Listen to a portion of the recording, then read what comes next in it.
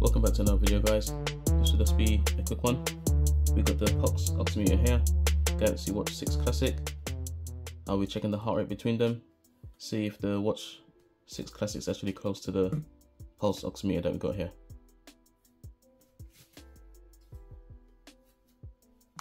Okay, first let's take the Watch 5 Pro off.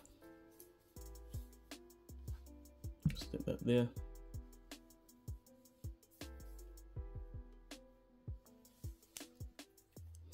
Put this on, make sure it's nice and snug.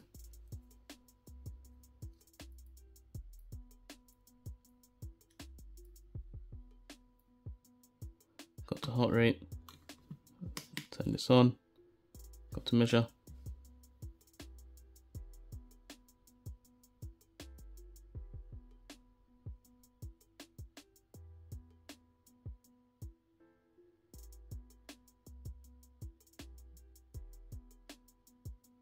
Right, so my heart rate is 94. This meter here saying 90. It's going down. 88. Let's try that again.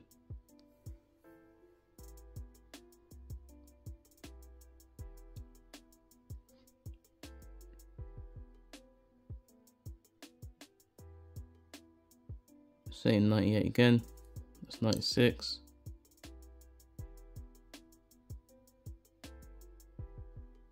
Let's try one more time.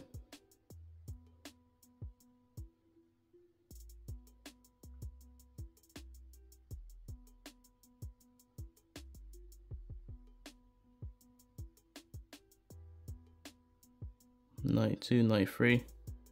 Yep, that's much more closer as you can see.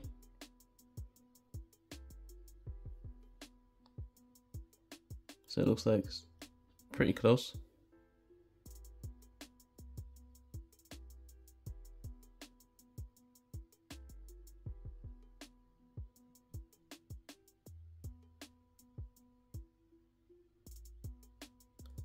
Yeah, pretty close.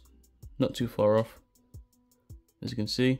But obviously, you won't really be using this to actually test your heart rate if you obviously need to do it for medical reasons obviously use a meter like this. But as you can see it can be done. Right guys if you've got any questions leave them down in the comments. Don't forget to like share and subscribe. Thanks for watching and i'll see you guys in the next one